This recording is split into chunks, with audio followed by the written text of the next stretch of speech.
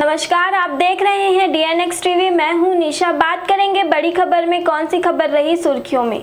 छत्तीसगढ़ में एक और नक्सल सहयोगी गिरफ़्तार। कांकेर नक्सलियों के शहरी नेटवर्क के मामले में फरार चल रहे आरोपी वरुण जैन को राजनांदगांव पुलिस ने गिरफ़्तार कर कांकेर पुलिस को सौंप दिया है। पुलिस देर रात वरुण को लेकर कांकेर पहुँची। नक्सलियों के शहरी नेटवर्क के मामले में अब तक कांकेर पुलिस के सिकंजे में चौदह आरोपी आ चुके हैं।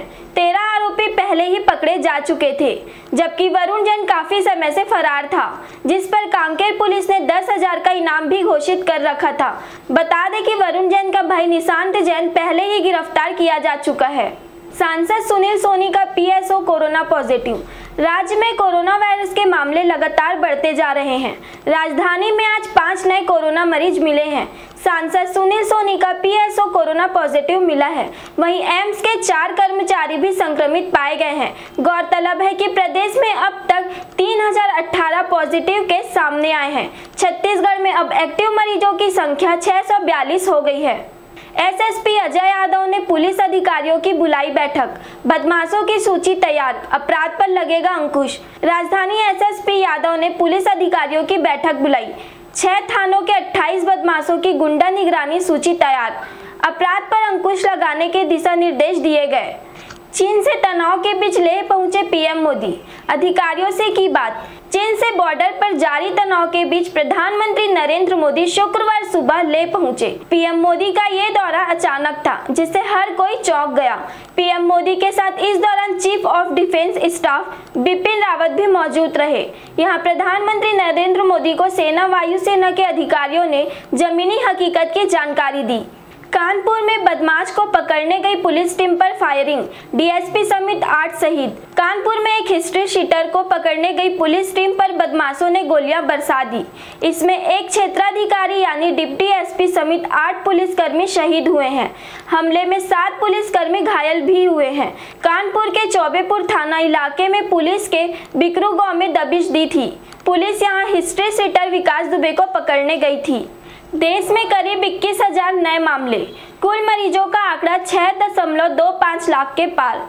देश में पिछले 24 घंटों में कोरोना के करीब इक्कीस हज़ार नए मामले सामने आए हैं। शुक्रवार को स्वास्थ्य मंत्रालय की ओर से जारी अपडेट के मुताबिक, देश में कुल कोरोना मरीजों की संख्या छह लाख पच्चीस हज़ार पाँच सौ चौवालीस हो गई है, जिसमें अठारह हज़ार दो सौ तेरह लोगों की मौत हो चुकी है। अब तक करीब तीन लाख अस्सी हज़ार लोग ठीक हो चुके हैं। पंद्रह अगस्त को लॉन्च हो सकती है कोरोना की देसी वैक्सीन कोवैक्सीन कोरोना के बढ़ते संक्रमण के बीच एक अच्छी खबर आ रही है। 15 अगस्त को कोरोना की वैक्सीन कोवैक्सीन लॉन्च हो सकती है। इस वैक्सीन को फार्मास्यूटिकल कंपनी भारत बायोटेक ने तैयार किया है। भारत बायोटेक और आईसीएमआर की तरफ़ से वैक्सीन लॉन्चिंग संभव है। हाल ही में कोवैक्सीन को ह्यूमन ट्रायल की इजाज़त मिली है। आईसीएमआर की ओर से जारी लेटर के मुताबिक 7 जुलाई से ह्यूमन ट्रायल के लिए इनरोलमेंट शुरू हो जाएगा। इसके बाद अगर सभी ट्रायल सही हुए तो आशा है कि 15 अगस्त तक कोवैक्सीन को लॉन्च किया जा सकता है। मशहूर कोरियोग्राफर सरोज खान का निधन, तीन बार जीता नेशनल अवार्ड मशहूर कोरियोग्राफर सरोज खान का कार्डियक अरेस्ट के कारण निधन हो गया। इकहत्तर वर्ष की सरोज खान ने दुनिया को अलविदा कह दिया, लेकिन उन्होंने अपने पीछे कई मशहूर गाने विरासत के तौर पर छोड़ दिए, जिनमें उनके डांस की प्रतिभा देखते ही बनती है। सरोज खान द्वारा कोरियोग्राफ किए गए कई मशहूर गानों को माधुरी दीक्षित, श्रीदेवी, ऐश्वर्या राय जैसी टैलेंटेड एक्ट्रेस का चेहरा मिला और उनकी जोड़ी ने बॉलीवुड में धूम मचाई। कोरियोग्राफी में सरोज खान ने सबसे अधिक आठ अवार्ड जीतकर रिकॉर्ड बनाया था। क्रिकेट की वापसी को लग सकता है झटका।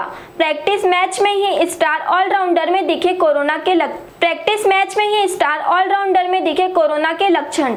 इंग्लैंड में चार महीने के बाद प्रैक्टिस मैच के ज़रिए क्रिकेट की वापसी हुई है। महामारी के खतरे के बीच खेले जा रहे इस प्रैक्टिस मैच में सैम कुरन में कोरोना वायरस के लक्षण दिखे हैं। इंग्लैंड क्रिकेट बोर्ड ने जानकारी दी है कि सैम कुरन को आइसोलेशन में भेज दिया गया। और वह इस मैच में हिस्सा नहीं लेंगे।